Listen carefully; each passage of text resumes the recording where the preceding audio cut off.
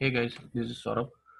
I'm sure if you are watching this video, you are looking forward to learn software automation.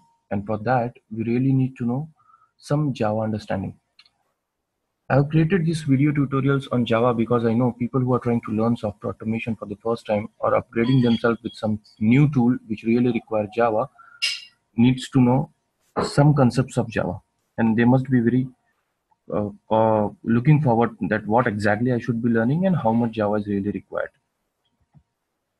So basically these type of questions would be coming in your mind that how much Java is really required for software automation engineers.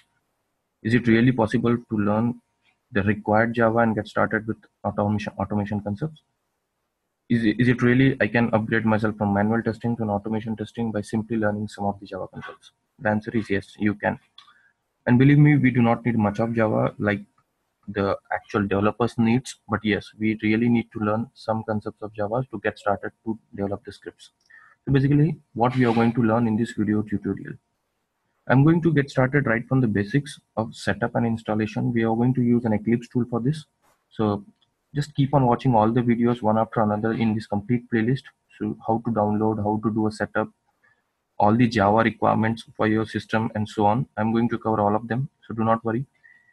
We need to know the different difference between all these concepts. So we, we are going to learn what is class, what is method, conditional statements, what are the different kind of loops which we have, important for loop, while loop, how, what is exception handling, so how the automation functions or the automation libraries, what exactly is all those, and the importance and the correlation with the Java.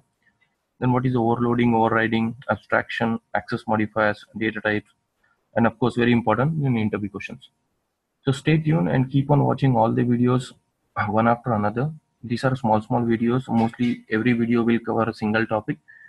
And uh, yeah please subscribe to my video channel so that uh, it will motivate me to create some more videos for you guys. And yeah if you have any questions or any other special requirement which you want me to cover in in a videos or you're looking for any personal training uh, do contact me. My email id is in the comment section and the description of this video. Thank you guys.